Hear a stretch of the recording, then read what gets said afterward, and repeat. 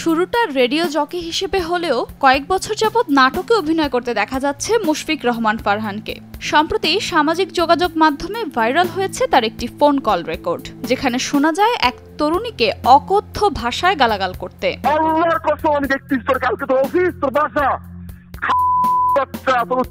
দিন কিছু বলি নাই। ফারহান আপনি একটা হোর আপনি এগুলো আমাকে বলতে পারেন না রামতে ক বাচ্চা। কল রেকর্ডের বিষয়ে যোগাযোগ করা হলে নাম প্রকাশে অনিচ্ছুক ওই তরুণী জানান, মুশফিক ফারহানের সাথে তার দীর্ঘদিনের প্রেমের সম্পর্ক ছিল। কিন্তু ফারহান ওই তরুণী সহ আরও অনেকের সাথে সম্পর্কে ছিলেন। তাছাড়া ফারহান যে বিবাহিত, সেই কথাও গোপন করেছিলেন তার কাছে। আমার রিলেশনের আট মাস পরে আমি জানতে পারছি যে ফারহান ম্যারিড ফারহান সিঙ্গেল না, ফারহান ম্যারিড ফারহান একটা ওয়াইফ আছে। এবং যে ওয়াইফের সাথে ডিভোর্স হয়নি। তো আমি ফারহানকে বললাম যে ফারহান কেন ডিভোর্স করতেছেন না কেন? তখন ফারহান আমাকে বলল, তুমি আমাকে পাঁচ লাখ টাকা দাও, আমি ডিভোর্স করে ফেলি, কাবিনের টাকা দিয়ে দিই। আপনি ভয়েস রেকর্ডটা শুনছেন কিনা আপনি জানি না, ওখানে দুইটা মেয়ের নাম ছিল, সাদিয়া আর নামিরা। সাদিয়া হচ্ছে ওর ফার্স্ট ওয়াইফ আর নামিরা হচ্ছে ওর আমেরিকান গার্লফ্রেন্ড তিনি আরও জানান, ফারহান টিনেজ মেয়েদের টার্গেট করত এবং তাদেরকে ইমোশনাল কথা বলে প্রেমের জালে ফাঁসাতো। অফিসেও মেয়েদের নানাভাবে উত্তক্ত করত বলেও জানান ওই তরুণী। ও ছোট ছোট মেয়েদেরকে ধরে, এরকম ম্যানিপুলেট করে অ্যাবিউজ করে অ্যাবিউজ করে ওই মেয়েটাকে ডিফেম করে ছেড়ে দেয়। এবং একবার যেটা হয়েছিল দু সালে, আমরা যখন সেম অফিসে কাজ করতাম, ওরকম একটা টাইমে আমার গায়ে হাত তুলছিল এবং ওটা নিয়ে আমি আসলে অফিসে অনেক চিৎকার কান্নাকাটি অনেক কিছু করছিলাম। তো পরে অফিসের যারা অথরিটি ছিল, তারা বলছে যে, এটা তো আমাদের সামনে তো গায়ে হাত তুলে নাই।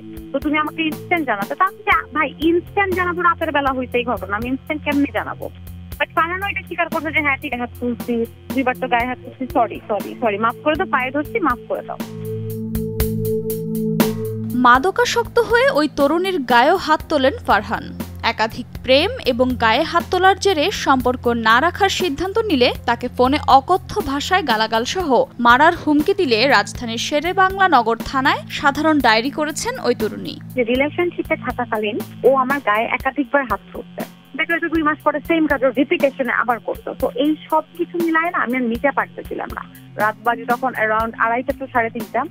তখন ফারহান আমাকে কল দিল এবং কল দেওয়ার পরে ও লিটারালি আমাকে লাইফ থ্রেট দিচ্ছে। আমাকে, আমার পুরো ফ্যামিলিকে আমার অফিস নিয়ে আজে বাজে কথা বলছে।